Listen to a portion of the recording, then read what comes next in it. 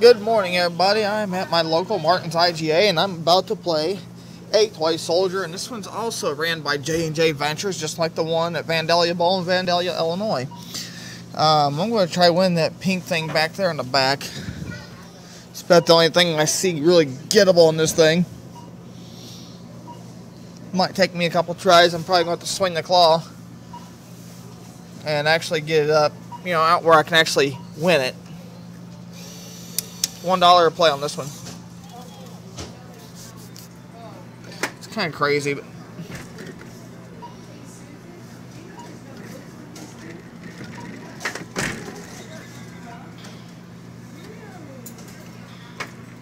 I don't know.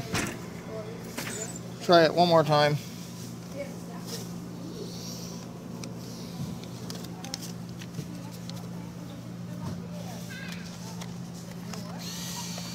I think it's kind of crazy that this thing is just